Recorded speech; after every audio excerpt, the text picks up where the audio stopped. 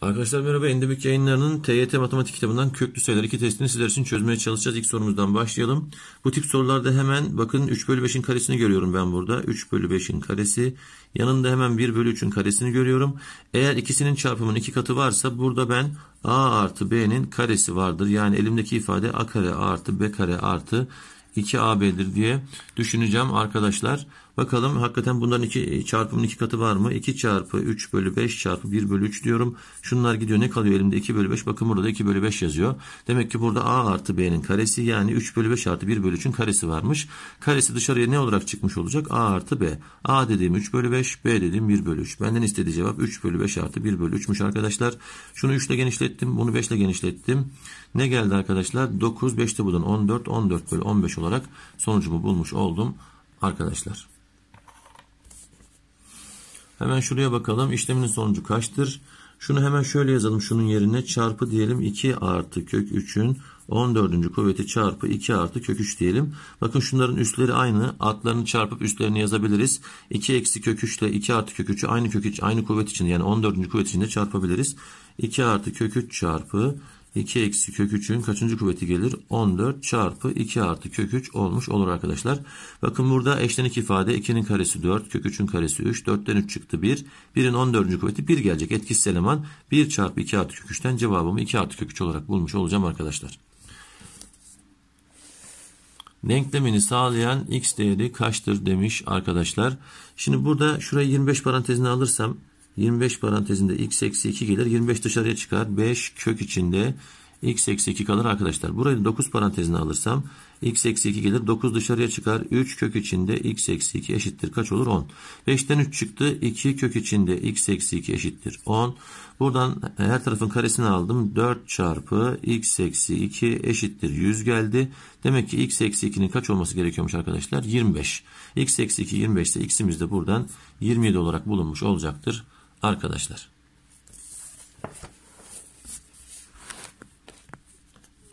Denklemini sağlayan x değeri kaçtır? Hemen her iki tarafın karesini alalım arkadaşlar. Şunun kare kökü kalkar. x artı kök içinde x kare artı 2 eşittir 4 gelir. x'i karşıya atalım. x kare artı 2 eşittir 4 eksi x. Tekrar karelerini aldım. x kare artı 2 eşittir 4'ün karesi 16. Eksi 2 çarpı 1'in çarpı 2'den 8x artı x kare. Şunlar gitti. 8x'i bu tarafa attım. 2'yi bu tarafa attım. 16'dan 2 çıkarsa 14. Her tarafı 8'e böldüm. X eşittir 14 bölü 8 yani 7 bölü 4 olarak bulunmuş oldu arkadaşlar. Demek ki değerimiz 7 bölü 4'müş.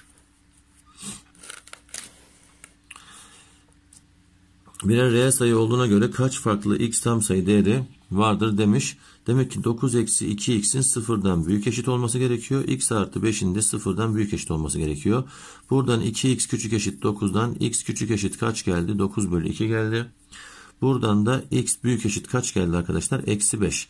Demek ki benim eksim eksi 5 küçük eşit x küçük eşit 9 bölü 2 yani 4,5 aralığındaymış. Kaç farklı x tam sayı değeri vardır diyor. Eksi 5, eksi 4, eksi 3, eksi 2, eksi 1, 0, 1, 2, 3 ve 4. 1, 2, 3, 4, 5, 6, 7, 8, 9, 10 farklı x tam sayı değeri bu iki ifadeyi reel sayı yapıyormuş arkadaşlar. Olduğuna göre ifadesinin değeri kaçtır? Öncelikle bunu şöyle yazalım. Kök 7 bölü 4 artı 2 bölü 4'ten 1 bölü 2. x kare eksi x ne demektir? x çarpı x eksi 1 demektir. Bu x de x eksi 1 de bundan 1 çıkmış halidir. Onu da şöyle yanına yazalım arkadaşlar. Kök 7 bölü 4. 1 çıkartırsam 1 bölü 2 eksi 1 gelecek. Yani eksi 1 bölü 2 olmuş olacak. Bakın a artı b çarpı a eksi b gibi oldu arkadaşlar. a artı b çarpı a eksi b neydi? a kare eksi b kare. Kök 7 bölü 4'ün karesi 7 bölü 16. Eksi 1 bölü 2'nin karesi 1 bölü 4. Onu da 4 bölü 16 olarak yazalım. 7'den 4 çıkarsa 3 bölü 16 olarak aranan cevabımı bulmuş olurum arkadaşlar.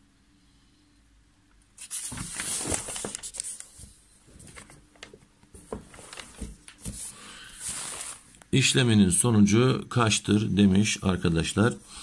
Ee, şimdi şöyle yapalım. Ee, 255 çarpı 87 demiş. Şöyle ben bunu açarsam e, 255 çarpı 87 eksi 255 tane 86 eksi şimdi 256 tane 86 ya. Buraya 255 tane yazdım. Bir tanesini buraya yazdım. 1 çarpı 86. Bakın şurası 255 buradan. Bir de buradan 256 tane 86 yapıyor. Şimdi şurayı 255 parantezine alırsam ne gelmiş olacak? 87 eksi 86 gelecek. Yani burası 1 olacak. Elimde ne kalmış olacak? Sadece 255 kalmış olacak. Yani aslında şuranın sonucu 255'miş. 250 yine yazıyorum kökün içinde. Arkadaşlar 255 bir tane 86'da ne yapar? 86 yapar. 255'ten 86 çıkarsa arkadaşlar kaç gelecektir? E, 169 gelecektir. Yani kökün içinde 169. Kök 169 da 13 olarak hesaplanmış olacaktır arkadaşlar.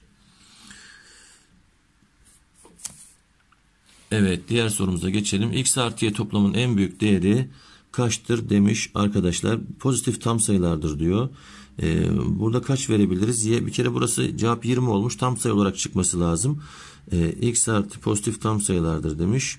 3 ile çarptığımızda e, şuraya 1 versek en küçük. Mesela şuraya 1 yapsak 3 kere 1 3. Burası da 17 olur. 17 artı 1'den ne gelmiş olur? 18 gelmiş olur. Ama değiştirebiliriz biz bunu. Şurayı büyük yapmaya çalışalım. Buradan 18 gelsin tam sayı oldukları için. Şuradan 2 gelsin. Neden 18 dedim? 3'ün bir katı olsun diye. Buranın 18 gelmesi için e, 3 ile neyi çarparsam 18 yapar? 6'ya demek ki kök y'nin 6 olması lazım. Dolayısıyla y'nin kaç olması gerekir arkadaşlar? 36 olması gerekir. Buradan 18 geldi. X'e de kaç vereceğim? 2. Bakın bir birini büyük birini küçük bir de diğerini büyük. Diğerini bu taraftakini küçük almış oldum. E, bu sefer de x'im 2 y'm 36 geldi. Toplamları kaç yapmış oldu? 38 zaten E şıkkına da 38'i koymuşlar arkadaşlar. Şekilde sayı doğrusu üzerinde A ve B sayıları gösterilmiştir. A sayısı eksi 3 ve AB uzunluğu 5 kök 3 olduğuna göre B sayısı aşağıdakilerden hangisinde bulunur? Yani şurası 5 kök 3 ise biz eksi 3'e 5 kök 3 eklediğimizde neyi bulmuş olacağız arkadaşlar? B'yi. Şunu içeri 5 kök 3'ü bir hesaplamaya çalışalım arkadaşlar. Ee, kök 3 dediğimiz sayı e, kaç diyeceğiz? 1,7 civarında bir sayı gibi düşünsek. 1,7. 5 kere 1,7 ne yapar arkadaşlar?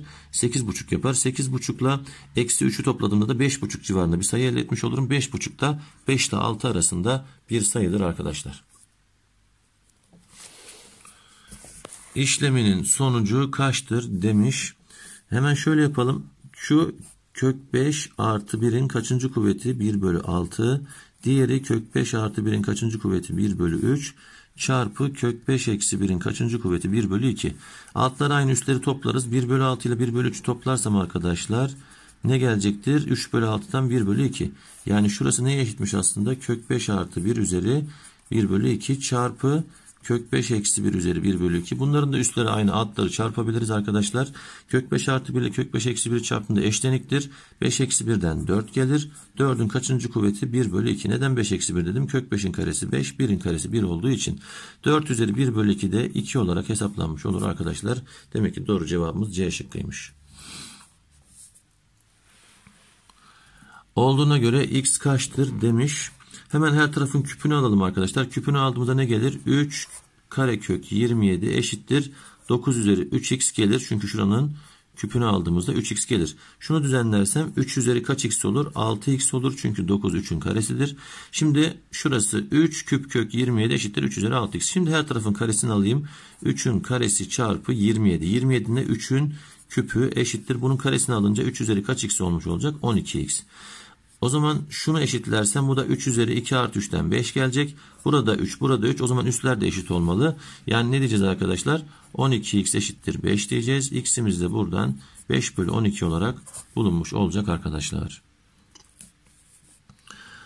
Aşağıdaki sayı doğrusunda 2 ile 5 sayılarına karşılık gelen noktaların arası 9 eş parçaya ayrılmıştır. Buna göre K noktasına karşılık gelen sayı aşağıdakilerden hangisi olabilir demiş. Şimdi bakalım 1, 2, 3, 4, 5, 6, 7, 8, 9 parça var. 5'ten 2 çıkarttım 3. 3'ü 9'a böldüğümde 1 bölü 3. Her bir parça 1 bölü 3. 1, 1, 2, 3, 4, 5 parça gideceğim. 2 artı 5 tane 1 bölü 3 ne yapar? 5 bölü 3. 3 kere 2 6. 6, 5 daha 11 bölü 3 geldi. Yani burası 11 bölü 3'müş arkadaşlar. Bir tane daha 1 bölü 3 eklersem burası da 12 bölü 3'müş. Yani burası 4. 4'ten küçük bir sayı bulmamı istiyor. E, kök 7 dediğimiz zaman şunların hepsinin karesini al. Yani 4, 4'e çok yakın ama 4'ten biraz küçük bir sayı bulacağım arkadaşlar. E, karesini aldığımı düşünün 16. Yani 16 karesi 16'ya yakın bir sayı olacak. Bunun karesi 7. Bunun karesi 8. Bunun karesi 15. Zaten bakın 16'ya en yakın sayı bu. 16'dan da azıcık küçük. Demek ki doğru cevabım bu olmalıymış arkadaşlar. Yine diğerlerini de alayım. Buradan 22 gelir. Buradan da 18 gelir. 16'yı bunlar geçiyor. Bunlar çok küçük kalıyor. Aradığımız cevap C şıkkı olmalıdır arkadaşlar. Piyasadaki en iyi kitaplardan Endem'in bir testini daha sizler için çözmeye çalıştık. Umarım açıklayıcı olmuştur. Kendinize iyi bakın. Görüşmek üzere.